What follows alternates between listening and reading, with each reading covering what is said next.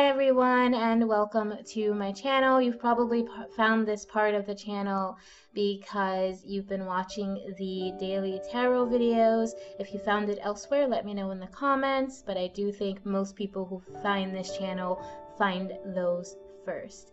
Anyway, welcome to um, the series where I just kind of take a look at my own beliefs and what matters to me on my spiritual journey? Like, what are the important things? So, today I wanted to talk about something that hits home very much, and that is toxic families. My question is why are some people born into toxic families, and what can we do to overcome it when we are? First, I'd like to share a bit of my own personal story. Um, I do come from a toxic environment. I love my family a lot. Let me first say that. I'm a big fan of my mom and I care about my sisters a lot.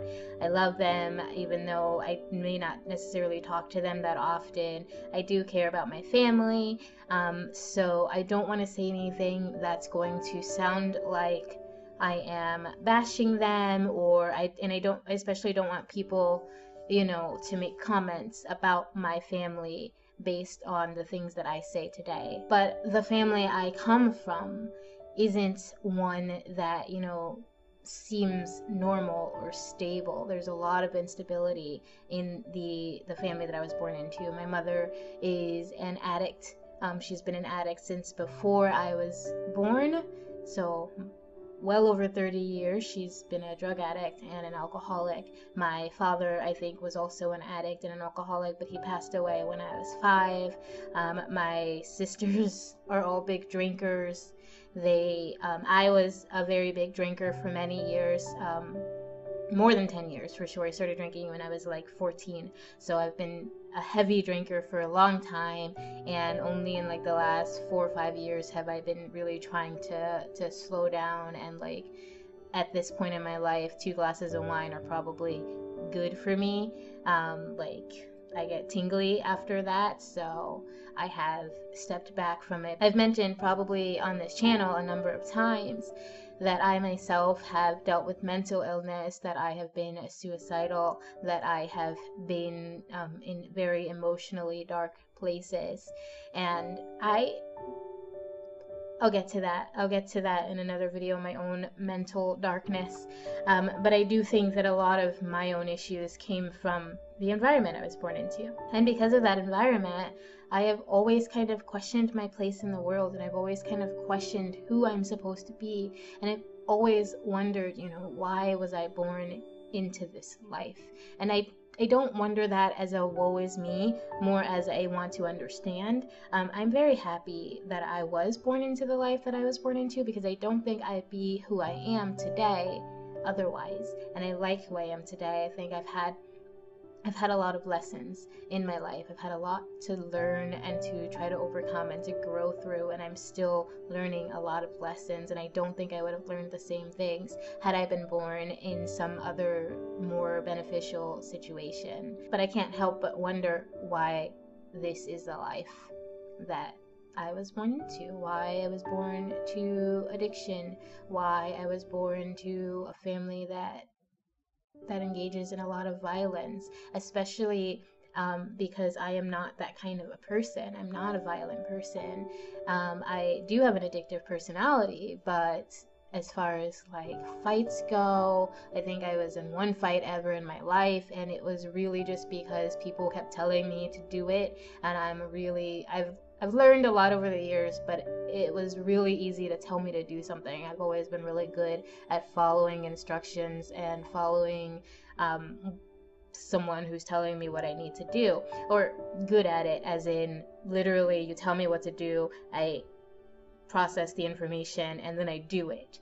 Um, it doesn't mean I always listen when people tell me what to do because I am who I am and I have a real issue with authority. But yes, I come from a toxic environment, like I said addiction, violence, abuse, sexual and physical and verbal abuses. Um, either I've experienced it or I've seen it. In fact, I can say I've experienced all of those things um, in some way throughout my life, and all of those things at some point came from either family members or um, someone that they married or was in a relationship with and brought into the family. And all of those years, I've just kind of tried to figure it out. I've come up with about three ideas for why people may be born into a toxic environment. The first idea is um, one that I've heard floating around in the spiritual community, and that is that we choose our life for whatever reason. So before you're born, before your spirit becomes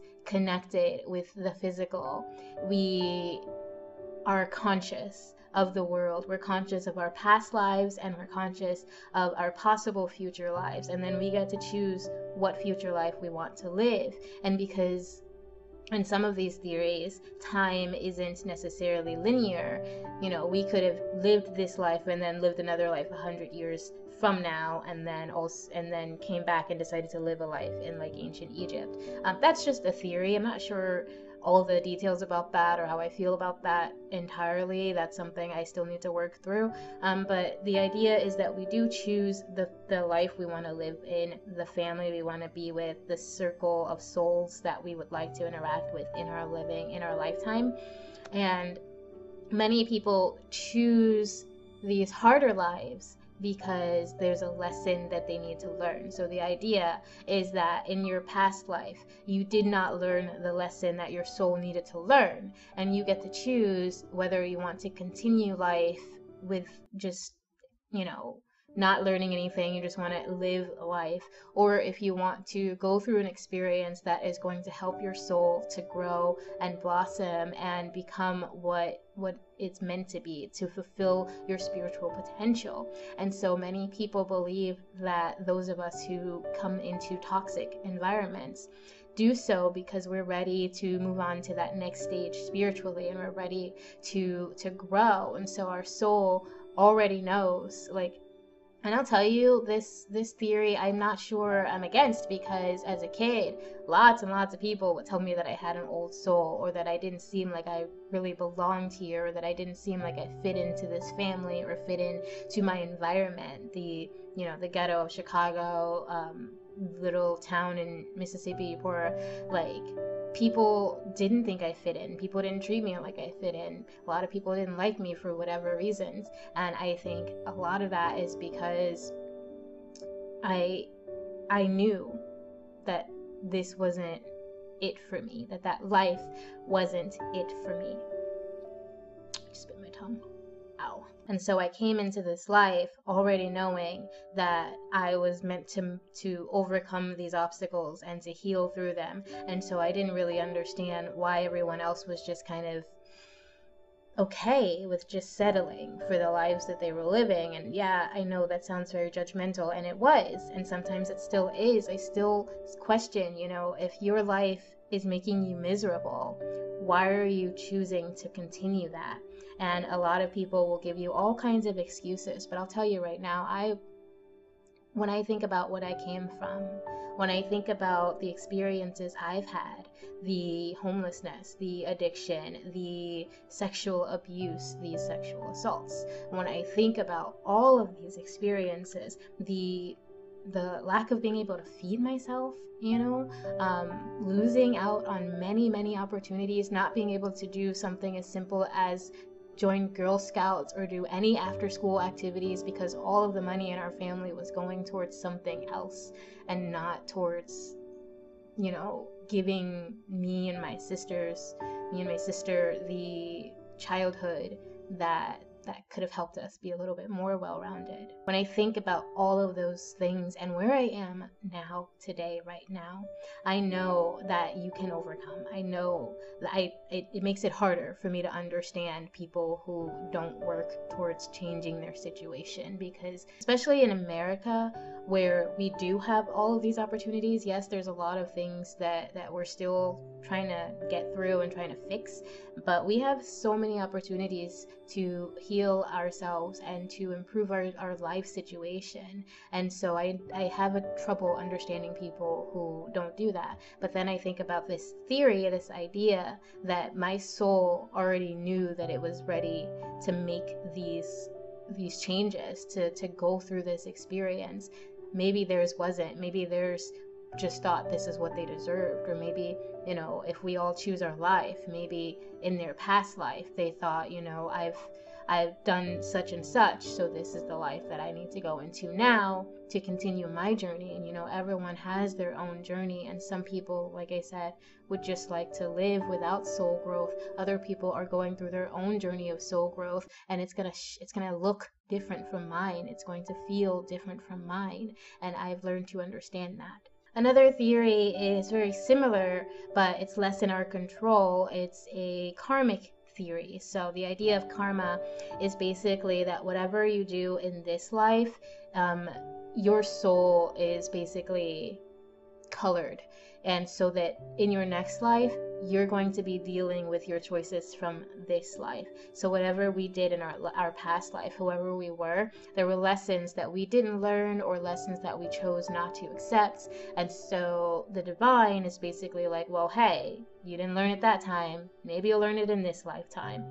And so, you know, there, there's lots of theories about karma. Um, I do hear a lot of people wrongly assume it has to do with this life, but historically, karma has never had to do with, you know, you pissed your coworker off yesterday and now you stubbed your toe. Like, that's not how that works. Karma is not something that's just going to, like, if someone ticks you off and you say, oh, karma will take care of them, maybe in their next lifetime. It's not going to happen this lifetime. That's not how that works. Um, there are other universal kind of ideas or laws for what it is that that creates consequences in this lifetime, but karma is supposed to cross um, multiple lifetimes. So the theory is that whatever we did in our past life has brought us to where we are now, and there's a lesson to be learned from this life. And if we learn this lesson, then our next life is going to be a lot more positive until eventually we reach a point of nirvana where we are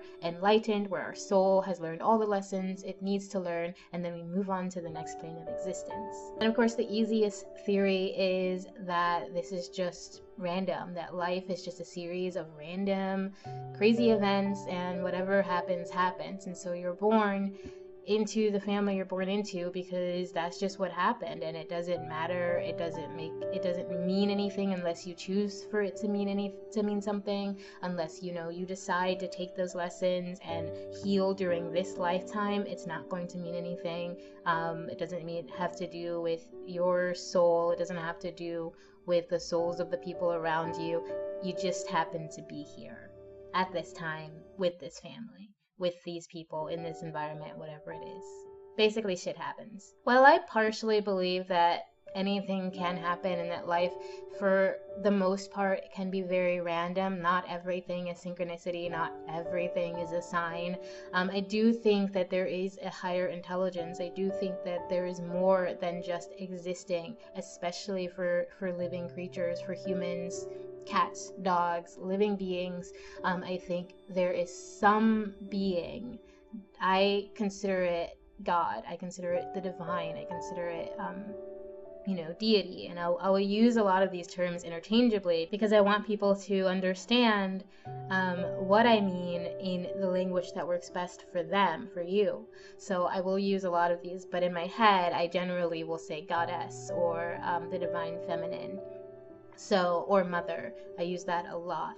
But um, I think the mother, the, the divine feminine God, I think she exists and I think she's not just going to randomly throw us into this life and i i personally am more fond of the idea that either or the two ideas that it's either karma or it's a choice or you know both you know you're making this choice because of your karma in your last life and you're saying hey i i know what i did so i need to learn this lesson for myself. I need to and my soul needs to learn this lesson. Um, so i'm gonna live this life. And i prefer that just because of my personal experiences. And that's not to like blame anybody for anything but i do think that that because i do feel like i have a very strong soulmate connection with my own mother. So i feel like I chose to be to follow her into this life and I chose to to learn the lessons that I'm learning through this life for whatever reason and I still don't know the reason. Um, I'm still learning and I hope to be con- continuously learning and continuously figuring things out and not just for myself but for my family members um, to help kind of break cycles and help heal people who have had trouble healing especially in my family um, and to help free people of whatever it is that whatever it is that's created this dark cloud over my bloodline. I want to help heal that. And so I do feel like maybe some part of my spirit chose this, not just for me, but for for my bloodline, for my family. Whatever the reason we are here, whatever the reason we end up in toxic situations, in unhealthy family situations, I think it's important that we figure out how we're going to deal with it. Because regardless of why you're in this situation, you're in it. And if you want to get out of it, you got to do something about it. So, how do we deal with toxic families or toxic environments when we're born into it? I can only speak from, I guess, my own experience. I mean, I've heard so many stories and so many people who have had these toxic families, especially these they, they grew up in these places and their only reprieve was to escape. And honestly, I kind of did that too. I came to New York where I have no family, where I knew pretty much no one. I, there was like one person here that I'd met once before I moved here. Um, and she and I became friends after I moved here. But before that, like I knew no one. I just came here and I need I knew I needed to get away from that environment that I was in. I was in Chicago and I swear I thought if I stayed another year in Chicago, I would die there. Like literally, I would either be killed or I would kill myself. And I just I didn't want that, you know? I wanted to live and I needed to find some place where I could do that and feel free from certain certain burdens, certain energy, certain negativity and if that's something you need to do and are able to do, I honestly I think it's good for you. You know, moving to New York changed my life for the better. I am much healthier mentally and emotionally than I've ever been. I'm much more stable than I've ever been. I am fixing my financial issues. I have you guys, I have things on my credit report from when I was 7. 7. I got apartment I got apartments when I was 7.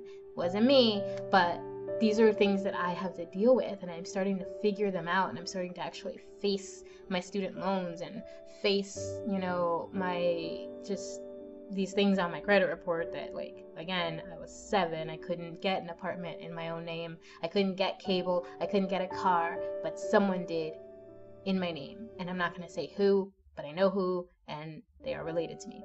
So, like, I'm learning these things. Getting away moving to New York is the catalyst for me having learned these things. And maybe not specifically New York, like just moving. I could have moved anywhere. I could have gone to Seattle. I could have gone to LA. I could have gone to freaking Iowa. I don't know. But like moving and figuring out how to be on my own, figuring out how to be free, figuring out what I want out of life, who I want to be, and who who I owe my loyalty and my my care to, who I owe my time to, figuring that out, figuring out my boundaries was it, it all came from me being able to pull away from that environment. So if that's something that you need to do, I say do it. I say if you're in a toxic environment and you're able to pull yourself away and you know, even if you're not currently able, make a plan. If you make a plan, you set goals for yourself, then you will find a way to be able to get out of there, okay? It may not happen tomorrow, but if you really want to escape that situation, you will.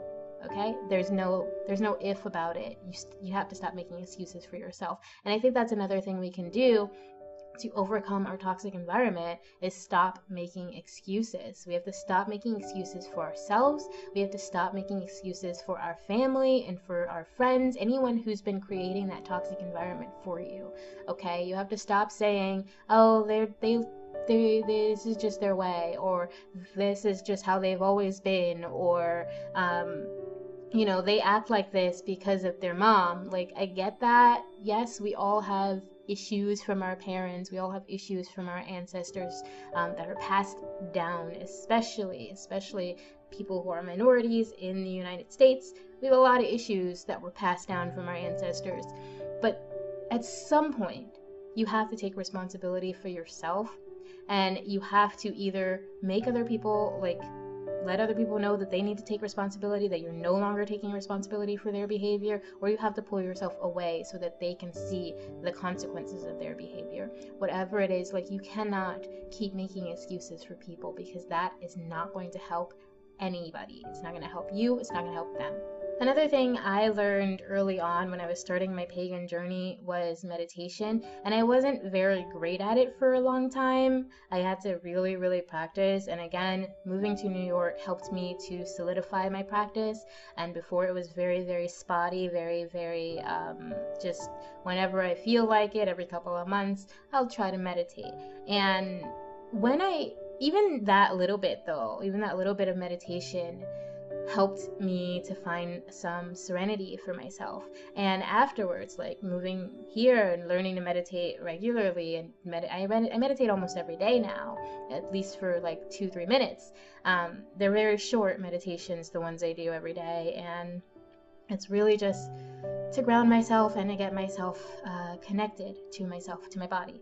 And so learning to meditate, even that little bit that I did when I was a kid, when I was younger, really helped me to find a bit of calm within the storm. So, you know, those late nights when um, family members are getting drunk and then someone gets violent and then like the cops are called, I can like chill back in my room and just be like, you know, like I was very big on what's the word? Um distraction was really big on distraction when I was younger, and I don't think that's the answer. I think that is a band aid, though. And if you're in a situation where you can't get out, distraction may be the only way to cope with it. It's just once you're out of that situation, you do have to learn not to let let that habit continue. And that's something I had to learn because it was, like I said, huge on distraction. I would meditate, I would try to quiet myself, I'd go in my room, I'd blast my music, I would stare at television and movies. Like I got way into movies. I read all the time, not just because I loved books, but because reading kept me from having to face my home and face the people around me. So, um, you know, if you have to distract yourself before you can leave, then by all means, that is a coping me- method. Just make sure that once you're free of that situation, you are able to let go of those habits because it will no longer be serving you and it will keep you from actually pursuing your purpose and pursuing your goals because you'll, you'll still be stuck trying to distract yourself from anything that gets even a little bit difficult. And I'm I know from experience. So, other ways to deal with a toxic environment. So, we've mentioned um, getting away. That's like, I think, the biggest thing for us is like to get away, get some perspective. Even if you don't, for if you're not leaving forever, that environment, like, I can't like just walk away from my family and never contact them again. And I am quite often being the one who they they're annoyed by me. I annoy my family because quite often I do point out these things that I've mentioned here. I'm not I, I don't want to sugarcoat things and I want to let people know because it gets it gets scary, you know. I'm afraid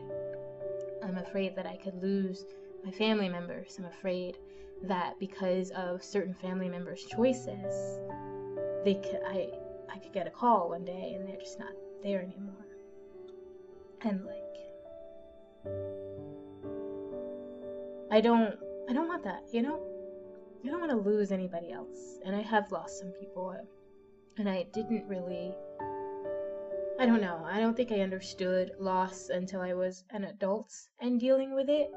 And when I was a kid, it just it seemed like, you know, every other day somebody was dying. Maybe not a direct relative, maybe my friend my cousin's friend was like shot in Chicago, you know, like it was just a part of existing and I think that was you know probably easier than now when I just am constantly afraid that I'm going to lose someone who's very, very important to me. I don't like thinking about that. I don't like thinking about losing the people that I love.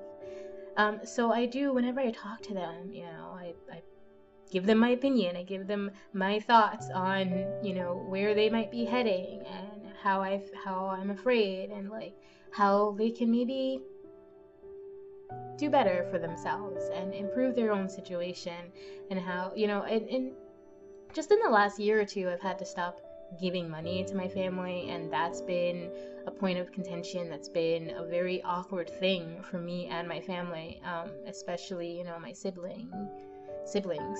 I have just stopped trying to give them money because it doesn't help them.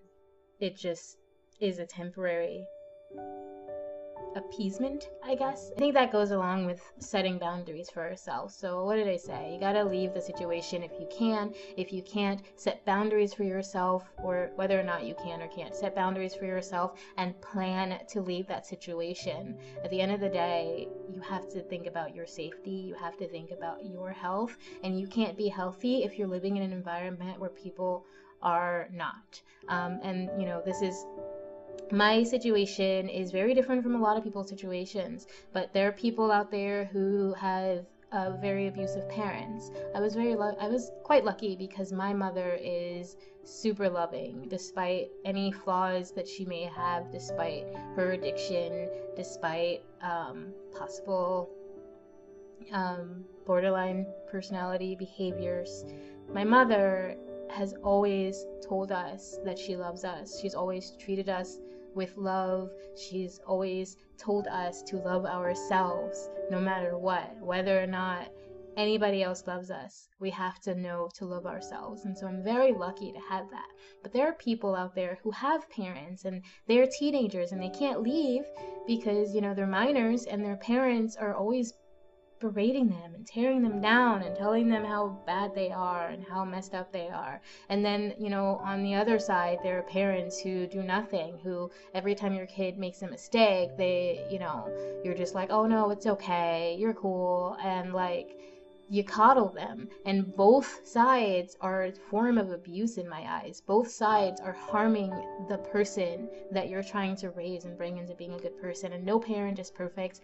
Every parent tries. And you may have one or either of these um, aspects in your life. And i think it's important to not see one one thing like your mom is having a bad day um, and she says something mean as full on abuse because she's also a human being and people make mistakes. People say things they don't need to say. So it's really important to be aware of whether or not this is an ongoing pattern or whether this was an off day or an off month or a bad year, you know? Um, and I think a bad year is pushing it there because eventually that kind of behavior will tear a person down within weeks, within a month. So um, if this is continuous, if it's ongoing behavior, your best bet is to get out of there. And like I said, if you can't get out right now, make a plan, set a goal, an actionable step by step plan to get yourself safe. Another important way to deal with toxic environments is therapy. Um, I think if we're looking at ourselves and we're trying to understand ourselves, we are going to have a lot easier time getting away from toxic people and understanding or recognizing when someone's behavior is dangerous or harmful to us. And if you're not looking at yourself, then there's a huge chance you're repeating this toxic behavior. There's a huge chance that you are putting yourself into unhealthy situations and you're using um, unhealthy coping methods. So I do think that therapy or some method that allows you to take take yourself in to look at yourself and to look at your own mental behaviors, your own patterns, um, your own feelings about things, even the the bad feelings, even the things that feel sad. You know, you have to look at that. You have to um, check in with yourself. If you don't check in with yourself, how the heck are you going to be able to understand when someone else has a problem or when someone else's problem is hurting you? You don't know if you're not if you're not checking in with yourself. And the last way to maybe deal with having a toxic family or being born into a toxic environment um, is once you're able to find some distance, whether that's, you know, just during your school days. Find people who aren't toxic. Find a circle of friends, of counselors, teachers, whatever. Find people that can help lift you up and bring you so that bring you to that place where you can see your own worth, where you can see how to heal yourself because it all starts with healing ourselves. And that's what I had to do. You know, I had a lot of teachers in my corner. I will forever and ever until the day I die fight for teachers because not only do they educate everybody, not only do they spend more time with kids than parents do, but they can save actual lives and they definitely saved mine. Having teachers who were on my side and telling me that, you know, I could be more, that I, I didn't have to follow the path that I was placed upon. Telling me that I could be a good person and that I could live a good life and that there were there were more possibilities for me than what I'd seen. I really needed that. And I think that definitely saved my life more times than I can count. On top of teachers, I also had some really good friends. I didn't have a lot a lot of people, like I said, did not like me when I was younger for whatever reason. There were people who literally told me they didn't like me because I was too quiet. What? I, okay. Um, so like there were a lot of different reasons and a lot of people who did not like me and like just actively treated me like crap. So having the the two, three, four friends that I had in each of my schools, I went to quite a few different schools. Having a few friends was was you know it was great. It was better than the alternative, which would have been everybody hating me and then me wanting to hurt myself sooner than I did, and sooner because I at 17 I, I made an attempt on myself and ended up in a psychiatric hospital for a few weeks and then ended up in outpatient for months until my insurance ran out and I could no longer afford to get the therapy that I needed. Um, so I was at that time, or for a couple years after that, I was still in and out of emergency crisis therapy because that was the only time I could get some help was when I was having a crisis. So if I didn't have the friends that I had, even though it wasn't good, I think things would have been a lot worse. So, having friends, having people in your corner, people who are there for you, is another way to deal with your toxic environment.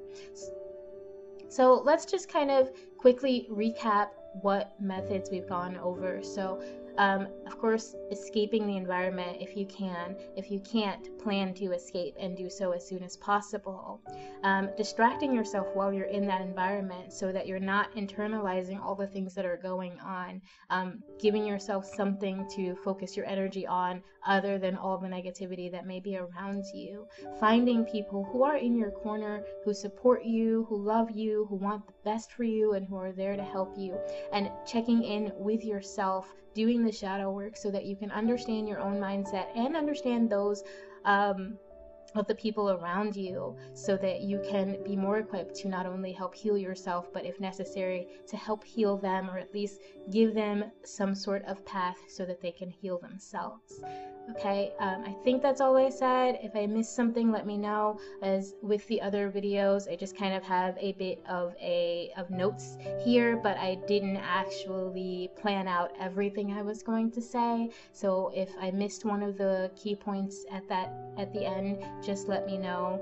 Um, and thank you so much for being here. I do hope that this video was helpful for someone. I do hope that, you know, you guys can find a way out of your unpleasant situations, out of your toxic environments, because you deserve to be out. You deserve to be loved. You deserve to be free. You deserve to feel safe and joyful and content with your life and with who you are.